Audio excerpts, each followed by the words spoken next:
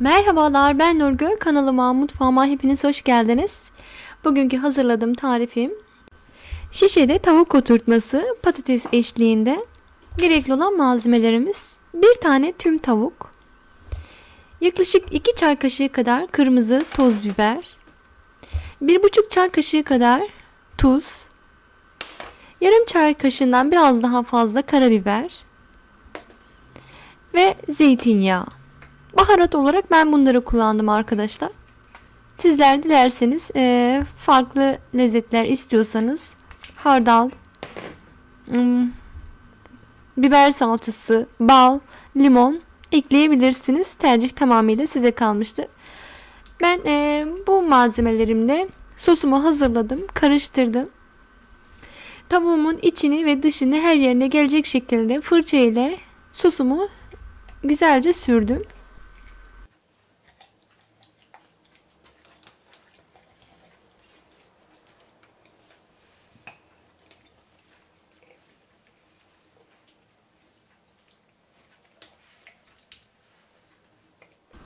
Tabi öncelikle sosumuzu sürmeden önce tavuğumuzu güzelce yıkıyoruz, temizliyoruz. Poposundaki o yağ bezini kesiyoruz arkadaşlar.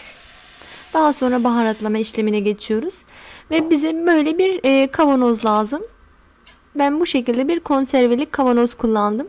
Yarısına kadar su doldurdum ve e, tavuğumu kavanozun içerisine oturttum.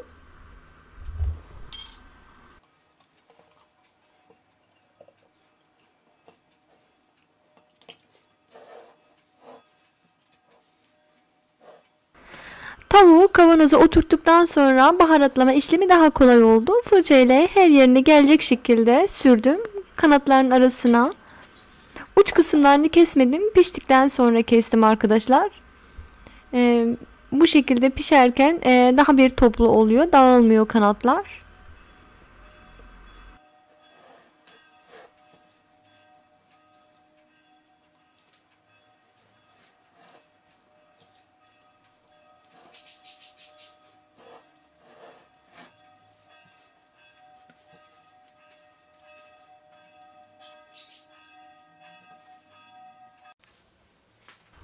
Evet tavuğumuzu güzelce baharatladıktan sonra pişirme tencereme aldım.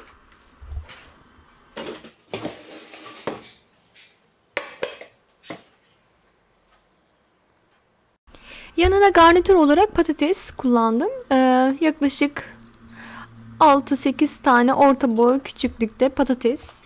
Ee, kabuklarını soyup yıkadıktan sonra ortadan 2 e, daha sonra 4 eşit parçaya böldüm. Bir tane de soğanı aynı şekilde dilimlere böldüm. E, tavuktan artan baharatları ve e, tuz, biraz pul biber, tekrardan zeytinyağı, bir küçük tutam susam, taze kekik ve e, rosmarin kullandım. Hepsini şöyle bir güzel harmanladım. Daha sonra tepsime ilave ettim.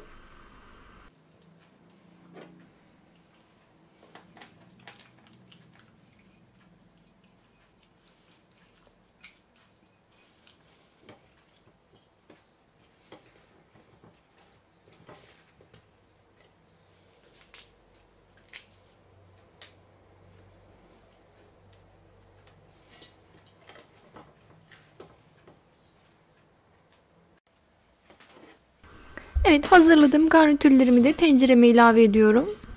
Tekrardan yerleştirirken baharatlarla e, karışması için güzelce şöyle bir e, karıştırıyorum. Fırını önceden e, ısıtıyoruz arkadaşlar. Önceden ısınmış 200 derece 205 derece fırında.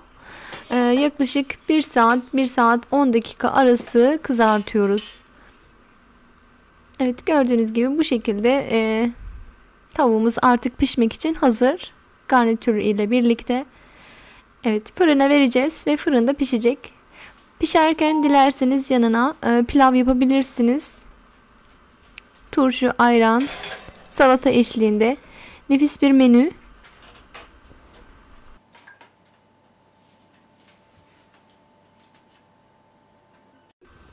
Evet pişerken izlemesi de ayrı bir zevk arkadaşlar. Gördüğünüz gibi ne kadar güzel şişti. Ee, bir yandan e, böyle sosunu bırakıyor patateslere. Patateslerimiz de ayrıca daha bir lezzetleniyor. Ve içi sulu sulu bir e, tavuk elde etmiş olduk. İnanılmaz güzel bir e, tavuk oldu arkadaşlar. Evet artık e, tavuğum pişti. 1 saat 5 e, dakika kadar fırında tuttum.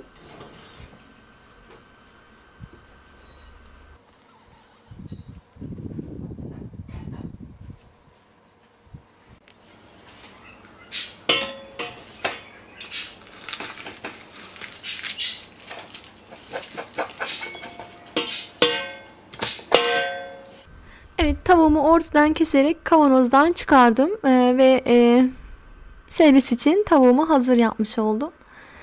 Salata eşliğinde e, patateslerimiz, e, soğan, mayonez ve ketçap eşliğinde ben e, servis yaptım.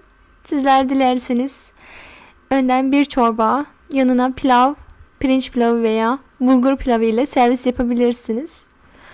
Evet müthiş lezzetliydi arkadaşlar. İçi sulu sulu dışı çıtır çıtır bir e, tavuk elde ettik. Umarım beğenmişsinizdir. Şimdiden yapacak olanlara kolay gelsin diliyorum.